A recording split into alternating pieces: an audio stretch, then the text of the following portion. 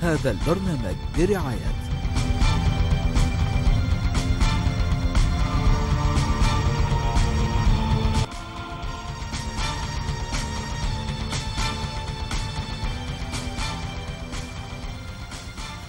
أهلا بحضراتكم إلى الركن الحواري الأخير في حلقة اليوم من الحصاد واللي خصصناه عن موضوع بيهم كل المصريين وهو يعني لسان حالهم في هذه الأيام أو الموضوع الأساسي اللي بيشغل بالهم موضوع تعويم الجنيه المصري وموضوع زيادة أسعار المواد البترولية ورفع جزء من الدعم عليها وما يعني يؤثر به على مستوى دخول المواطنين خاصة من الطبقة الوسطى إن وجدت والطبقة محدودة الدخل والمعدمة. إحنا عاوزين نحافظ على هذه الطبقات وعايزين عايزينها تنهض للامام لأن هي اللي ممكن تنهض بالمجتمع.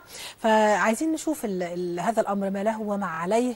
الجزء اللي ممكن نتحمله فيه قد إيه وبنتحمل علشان إيه؟ هل في شيء إيجابي في انتظارنا؟ فيجب أن نتحمل من أجله. كل دي أسئلة هنسألها لضيفنا النهارده الأستاذ عصام الكاشف مدير تحرير وكالة أنباء الشرق الأوسط. أهلا بحضرتك أستاذ عصام. أهلا بيك يا أستاذ خلينا نبتدي من يعني رؤيتك لهذه القرارات الاقتصادية اللي الناس كانت متوقعاها وبرغم توقعها ليها لما حدثت عملت دربكة وحالة من ال من ال يعني من القلق لدى كثير من المصريين. طيب خلينا نبدأ من حيث انتهيتي. آه اللقاء السابق كان مع آه طبيب والمفروض إن هو مسؤول عن قطاع هام جدا ملف خطير وهو ملف الصحة آه في مستشفى زراعيين آه وهو مهم جدا تشخيص الصح للمرض علشان نقدر نقول إن العلاج ده هيكون ناجع أو ما هوش ناجع. نبدأ بالإجراءات اللي عملها آه سيادة الرئيس عبد الفتاح السيسي بتشكيل مجلس رئاسي للاستثمار. ثم بعد ذلك آه الاجتماع الذي آه سبق القرارات الاقتصادية الفارقة في تاريخ مصر. أنا بعتبرها كده لأن مصر بتواجه في هذه المرحلة تحديات كثيرة من الخارج ومن الداخل. نعم. ومن الخارج لا تقل خطورة عما تواجهه أو يواجهه الوطن من الداخل. فإحنا محتاجين إن إحنا نشخص صح علشان خاطر نوصف العلاج الناجع.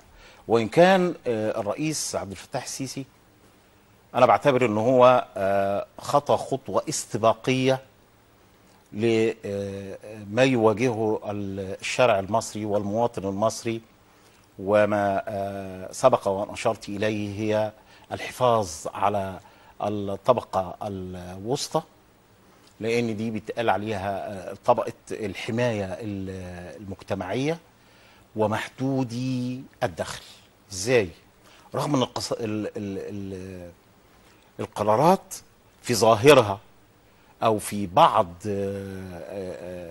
في وجهة نظر بعض المروجين والعملاء مش الوطنيين أنها قرارات قاسية على الوطن وعلى المجتمع قرارات تكاد تكون ستعصف بالوطن أنا بقول لا. إحنا شايفينها بشكل مختلف تماما. والدليل على ذلك إذا اقترينا تجربة مصر في مرحلة النكسة وما بعدها والإعداد لحرب أكتوبر ومرحلة الاستنزاف المرحلة البينية مرينا بظروف اقتصادية أصعب من كده بكتير. والوطن مر بأزمة كانت أقصى من هذا كتير. ولكن المجتمع كله بمختلف طوائفه كان على يد وقلب رجل واحد. بعكس الوضع الحالي الوضع الحالي عندنا مجموعة من المشككين مجموعة من آه العملاء بيحاولوا يشككوا في كل خطوة يتخذها الرئيس عبد الفتاح السيسي لصالح الوطن. ف يعني إذا أذنتي لي إنجاز التعبير أنا بعتبر آه أن الرئيس عبد الفتاح السيسي هو أجرأ رئيس استطاع أن يتعامل مع الملف الاقتصادي في الآونة الحالية. ده من ناحية. من ناحية تانية هو يعلم جيدا مدى الخطر المحدق بالوطن سواء كان من الخارج أو من الداخل. طيب مردود ده على الشعب والطبقة الوسطى والطبقة محدودة الدخل إيه؟ الرئيس آه، كان حريص جدا في يعني وهو بي بيلقي بهذا الحجر في آه، بركة الماء الراقدة أن يكون آه، يعني رؤوف ويحنو على الشعب خاصة محدود الدخل. كيف؟ إزاي؟ برافو عليكي. في عز القسوة اللي حصلت وإن كان ظاهر ظاهرها العذاب ولكن باطنها الرحمة آه، رفع الدعم المقدم لبطاقات التموين ل 60 مليون مواطن. 60 مليون مواطن. وعايزين نأكد على ال- الرقم ده لأن الرقم ده ما بيمثلش الطبقة الطبقة الوسطى ومحدود الدخل بس. لا ده أزيد. رفع الدعم ده 3 جنيه رغم صعوبة هذا. هتقولي لي ما الله طب ما المحروقات زادت وسعر صرف الدولار زاد وده بالتالي أثر على آه، ال- الجنيه المصري وقوة الجنيه المصري. بقول لك أن الجنيه المصري كان في مهب الريح آه، وسيعصف به الدولار إن عاجلا أو اجلا. ولكن الرئيس عجل بالخطوة دي علشان خاطر يحتوي السوق. ويقدر الجنيه المصري يقف على آه، قدم المساواة مع العملات الأخرى في الأسواق العالمية مش المحلية بس لا.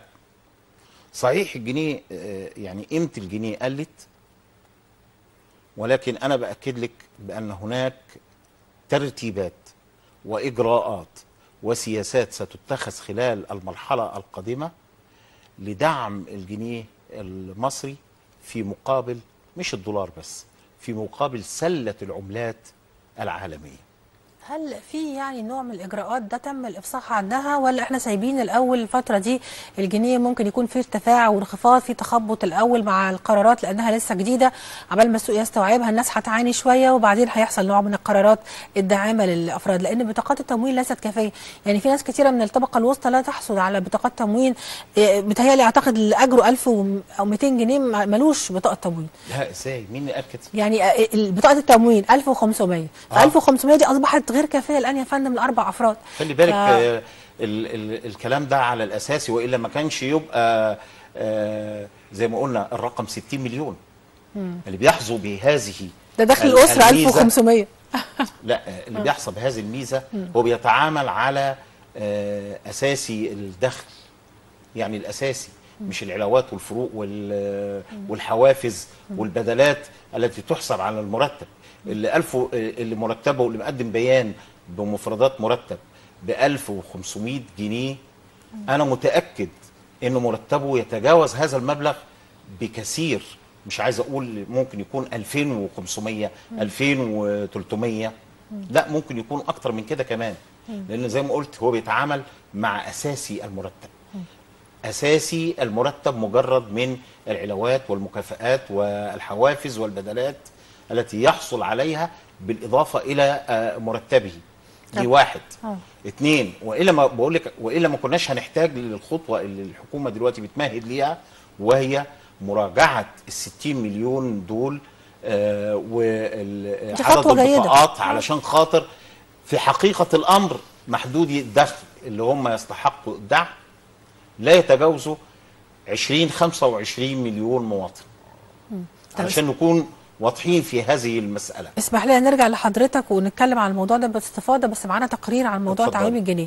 نعرضه ونرجع نكمل. حديثنا مع الأستاذ عصام الكاشف مدير تحرير وكالة أنباء الشرق الأوسط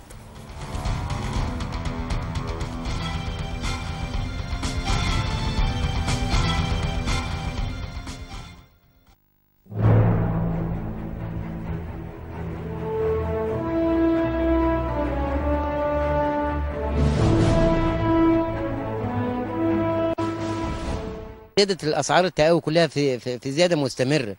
من أسعار من من أسعار تقويات ذره وقمح وبرسيم وزيادة أسعار البترول. بالنسبة للبنزين وال- وال- والسولار اللي بنستخدمه في الأرض كمكانات ري أو مواتير رش فطبعا بيبقى زيادة على الفلاح. أجرة الفلاح أجرة العامل في ال- في الفلاحة زادت. بقى دلوقتي الأجرة من من 100 ل 125 جنيه ل 150 جنيه.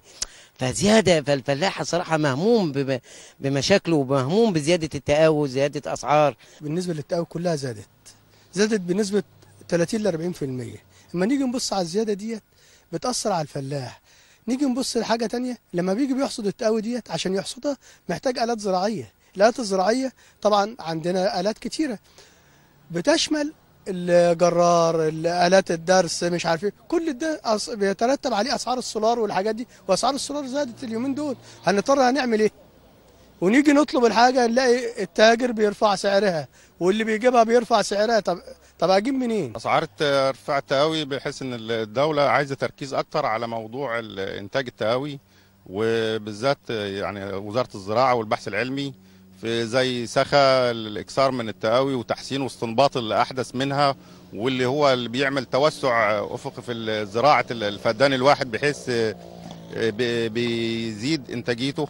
مثلا كحاجة بتنتج 2 طن ممكن تنتج 3 ممكن تنتج 4 القهوي غليت والجاز غلي والعمالة غليت وكل حاجة غليت. مش عارفين حتى ن- نأكل ابننا حتى إزاي. كل حاجة مؤاخذة غليت. لو ما بقى مؤاخذة نخلي ابننا يسرق ولا يعمل حاجة مش عارفين نعمل مع مع ال- الناس إزاي والله. كل ال- ال- الأرض غ- حتى الإيجار غلي والجاز غلي والعمالة غليت. يعني كل حاجة علينا بالجنيه. بالنسبة لل- للغاز والبنزين كل حاجة غليت والله وال- والسماد وكل حاجة غليت. فبالنسبة لل- للسماد الأرض غلي أقل من الأول. فيعني مستمر يعني الناس ترخص ال- هذا السعر. ارتفاع الأسعار التقاوي جميع كافه شيء دلوقتي غليت. حتى أبسط الأمور الحاجة بتاعت لمؤاخذه المواشي غليت. كلت البرسيم اللي بقت كانت ب 200 جنيه بقى أصبحت دلوقتي كده ب 300 جنيه. فمش عارفين نعمل إيه.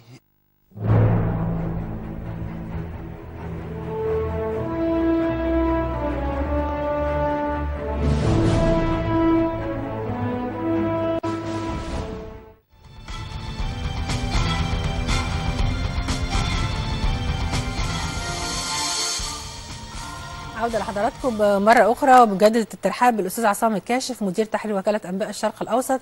يمكن أستاذ عصام الموضوع خاص بالزراعيين أكتر وبالفلاحين نعم. أكتر مم. ويمكن في برضو قرارات خاصة بأسعار ال ال لا يعني الرئيس أصدر يعني بشان القمح والذرة والقصب أسعار توريد المحاصيل إنها تعلى شوية. بزيادة. مظبوط. آه هو خلينا بس نكون آه يعني آه بنواكب الحدث أو ماشيين معاهم. هم تحدثوا عن ثلاث أطراف بس للعملية الإنتاجية. لكن ما ما تحدثوا ما تحدثوش عن باقي المنظومة كلها. هو بيتكلم عن العمالة بيتكلم عن السولار بيتكلم عن التقاوي وأظن إن ال- اللي كان موفق فيهم كتير هو الأخ اللي اتكلم عن التنويع وتجويد التقاوي ومطالبة الدولة بإنها أو أجهزة الدولة بإنها ممثله في وزارة الزراعة ومراكز البحوث العلمية والتكنولوجية اللي موجودة بإنها تجود من أنواع آه، ال- البذور أو التقاوي اللي آه، زي ما بنقول سخا هو سخا ده نوع من أنواع آه، الأقماح تقاوي الأقماح. ولكن في حاجات تانية زي ال- ال- المية. آه، في حاجات تانية زي التسويق. في حاجات تانية زي عملية آه، آه، آه، الرعاية خلال مرحلة الإنتاج يعني رعاية الزرع نفسها. واخدة بال حضرتك؟ هو اتكلم عن ثلاث أطراف وما اتكلمش عن باقي المنظومة آه، الخاصة بعملية الإنتاج رغم إن الدولة آه، يعني سعت إلى زي ما أشرت حضرتك إنها ترفع آه، أسعار المحاصيل آه، الزراعية. ولكن آه، هل ده كفاية؟ طب الزياده دي أول زيادة تحصل؟ ولا سبق أن سبقتها آه، موجات من آه، الزيادة مماثلة. سبقتها موجات من الزيادة. فالمسألة ما هياش آه، قاتمة زي ما هم بيحاولوا يصوروا أو يجسدوا ال- المشهد. لا. كل حاجة ليها حل. الدولة مطلوب منها أو وزارة الزراعة وأجهزتها مطلوب منها إنها تجود. آه، مسألة الحصاد والدرس وغيره من مسألة آه، تأهيل البذور أو المنتج الزراعي في الشكل اللي بيوصل آه، سواء كان المورد أو آه، الوزارة ممثلة في أجهزة الوزارة. ده في حد ذاته شيء مطلوب إن ال- ال- الدولة تمد إيد العون ليهم عن طريق أجهزة الاستصلاح الزراعي. عندنا آه، في كل مديريات الزراعة في ميكنة موجودة عندنا من فترات طويلة جدا وبتستخدم وقابلة لإنها آه، يتعمل ليها عمليات صيانة دورية.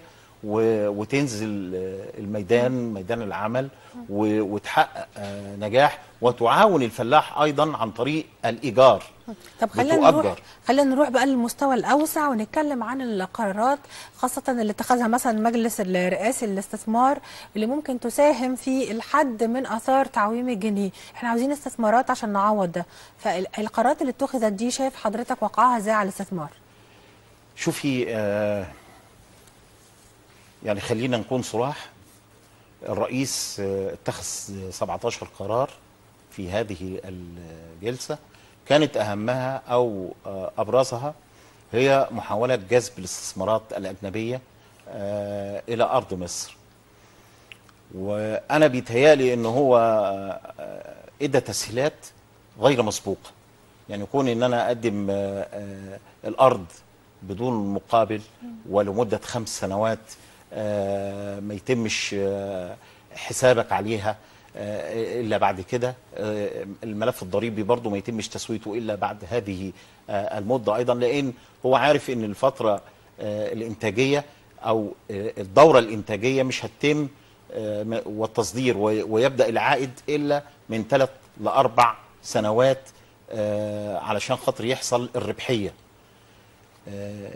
أي مصنع محتاج آه، أو أي عمل استثماري محتاج إلى عمالة وتدريب وتأهيل هذه العمالة علشان خاطر تديني منتج عالي الجودة وفقا للكود العالمي. فبرضو أدرك هذا الكلام. آه، أنا بعتبر إن هذه التسهيلات آه، تسهيلات عظيمة جدا وفي وقتها وخاصة في آه، مناطق صعيد مصر. وإن كنت أنا شايف إن مشروع القصير هيريحنا جدا لو آه، آه، نزلناه على الأرض. أنا عندي 30 مصنع هتعمل في مجالات تعدينية مختلفة. معمول ليها دراسة جدوى محتاجة إلى آه، 30 مليار دولار. ال- آه، ال ال- ال 30 مليار دي هتعمل آه، ربحية خلال خمس سنوات آه، قد تصل إلى آه، 40 45 آه، مليار دولار.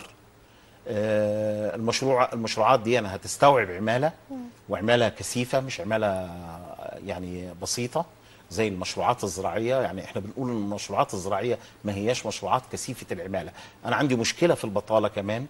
أنا رغم إن كل الأحصائيات كل المؤشرات بتقول إن مع يعني آه، معدلات نسبة البطالة في مصر آه، بدأت في ال- الانخفاض آه، كانت الأول 13 دلوقتي 12 ونص في المية.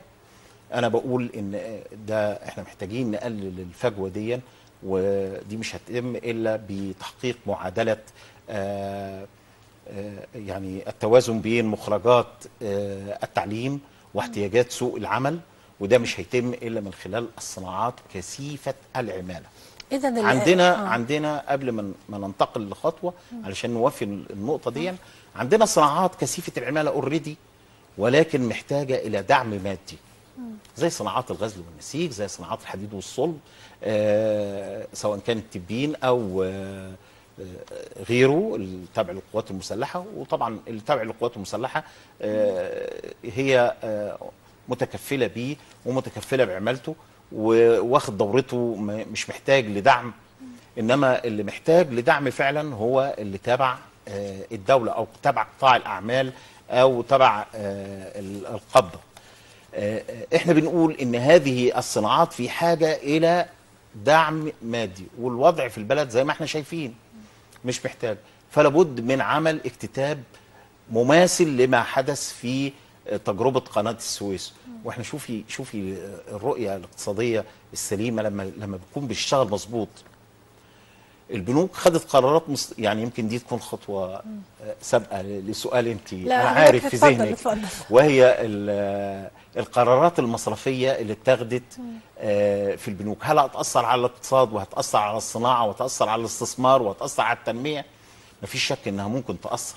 لأن النسبة اللي طرحينها نسبه ال- الفايده عالية 16 جدا و20% 20% آه، لل- للي هي سنة ونص. 16 ست- 18 شهر. و- آه، وكل والعائد بتاعها كل ثلاث شهور.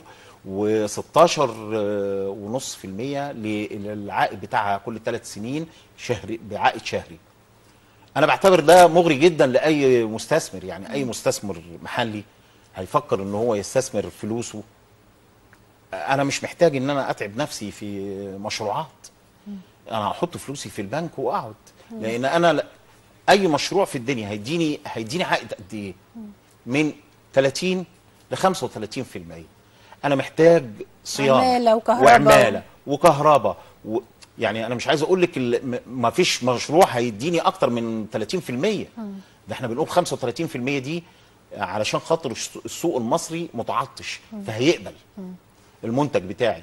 لا ده ده ده أنا ده أنا أحط فلوسي في البنك وأنا قاعد حاطط رجل على رجل.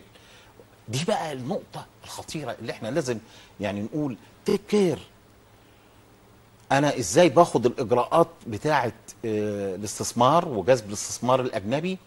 وأنت يا حضرة المحترم البنوك اللي هي ال- ال- الوطنية بتهدلي دعوتي علشان خاطر المستثمر المحلي. كده مش هيقدم على الاستثمار إلا ال 40 أسرة اللي إحنا عارفينهم اللي هم بيتحكموا دلوقتي في الاقتصاد الوطني. إحنا عندنا 40 أسرة كل واحد عمال بيستثمر في زراعة وفي التجارة وفي المنتجعات السياحية وعامل لي قناة إعلامية بيحمي بيها نفسه علشان خاطر تبقى خط دفاع أول وقت اللزوم واخده بالك؟ وداخل في كل المشروعات. طب البديل بقى. إن الب- البنوك يعني تحاول هي تستخدم هذه الأموال في في مشاريع زي اللي حضرتك ذكرتها. ده بقى المطلوب. إن ال- الاستثمارات اللي هتخش للبنوك لابد أن تدعم الصناعات كثيفة العمالة اللي إحنا بنتكلم عليها اللي هي كادت ان يعني كادت أن تسقط منا. إحنا عمالين نقول ويمكن آه، إحنا كنا لي كان لينا لقاء قبل كده وقلت لك إحنا محتاجين الصناعات دي تخش حضن الدولة مرة تانية. آه، لكن طبعا في آه، ترتيبات علشان خاطر اتفاقية التجارة وكده. اتفاقية التجارة إذا كانت هتضر بيا وببلدي وباقتصادي لا. لازم يكون ليا وقفة. لازم يكون ليا موقف. لما لما حبيت يا سيادة الرئيس يكون ليك موقف علشان تنقذ الاقتصاد الوطني وتسير بالمركب إلى بر الأمان الشعب كله وإحنا في مقدمته انصعنا لهذه القرارات ورضينا بيها آه، بقلب خالص وبضمير صافي واقفين وراك إلى أبعد مدى.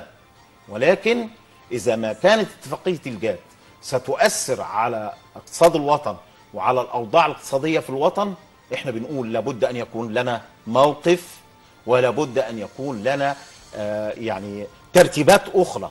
مش. بنقول هنخرج عن الجات آه. لا يكون لنا ترتيبات أخرى طبعاً. نعمل شركات نعمل آه آه هيئة قومية بلاش بلاش نرجع لل- للقطاع العام نعمل هيئة قومية تتولى آه، إدارة هذه المشروعات مرة أخرى باستثمارات وطنية باستثمارات مصرية. الموضوع 100%. كبير يا أستاذ عصام. الموضوع الاقتصادي دايما موضوع كبير ومهم وبيهم كل المواطنين من أصغر مواطن لأكبرهم. فللأسف يعني الفقرة مش حتى ساعة إن إحنا نتكلم أكتر من كده عن الاقتصاد.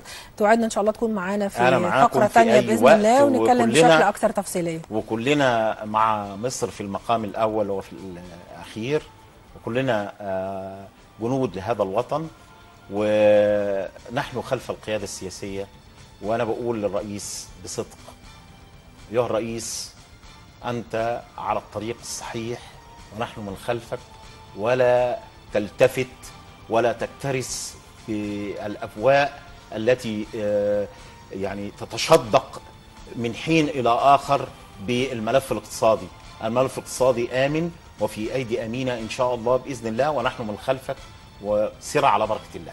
أشكر وجود حضرتك معانا أستاذ عصام الكاشف مدير تحرير وكالة أنباء الشرق الأوسط. شكرا جزيلا لحضرتك. شكراً شكرا لكم. أعزائنا المشاهدين. طبعا المذيع لا يجب ابدا أن يدلي بدلو ولا أن يقول راي فيما يعني يعرضه الضيف. هو بيستمع إلى الضيف وبيحترم رأيه جدا وبيحترم كمان آراء حضراتكم. إن شاء الله المرة الجاية ممكن نفتح تليفونات وناخد آرائكم وكمان يعني ناخد آراء اقتصاديين يساعدونا على تكوين فكرة متكاملة. شكرا لوجودك معانا وبكرة إن شاء الله حلقة ده. جديدة من برنامجنا الحصاد. إلى اللقاء.